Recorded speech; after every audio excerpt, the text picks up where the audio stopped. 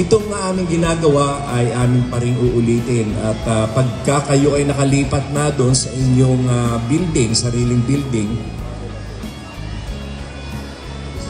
ah, itong taon na ito ay kayo ay babalikan pa rin namin. At ah, babalikin pa rin naman namin itong ah, North Bay ah, hanggang aming makakaya at ah, hanggang sa ah, kami ay ah, marami pang mga partners o sponsor na kukuha. Ah, sa ngayon, ang aming partner ay ang SM Foundation. Ah, itong mga um, nakikita ninyo sa inyong harapan na mga ipamimigay sa inyo ng mga nutritious uh, items ay bigay ng SM Foundation. At yun naman mga Nutriban ay galing sa aking opisina at uh, galing sa aming sariling uh, pondo. Kaya uh, sana ay ito ay makatulong sa inyong lahat. At uh, ang uh, isa pa naming ninanais ay ang mga kabataan ay uh, lumaki na nagmamahal sa mga magulang, sa kapwa-tao, sa pamilya, at lalong-lalo na sa bayan. Kaya uh, ating sama-samang tahakin ang ating bagong Pilipinas. Maraming maraming salamat.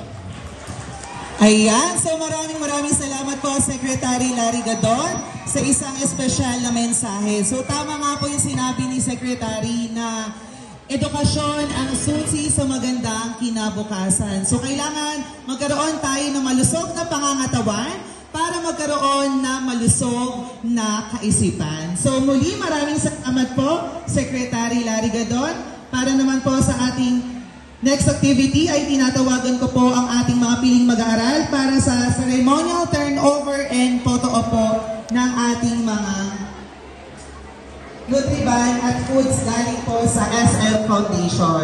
So muli bigyan po natin sila ng isang malakas na palakpakan po. Ayan. So sabi nga po, batang busog, hindi alert yung mga grade 6 tsaka grade 2. Ulit, batang busog?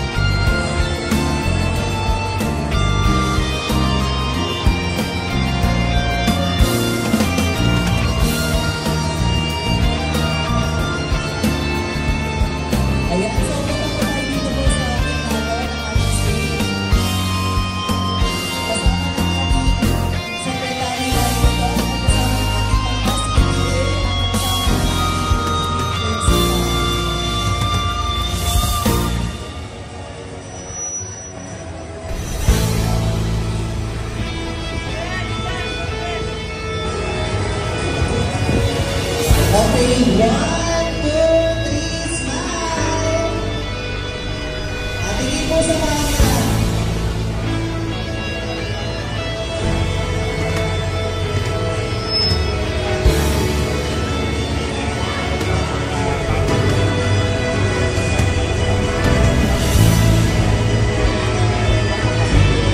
Ayan.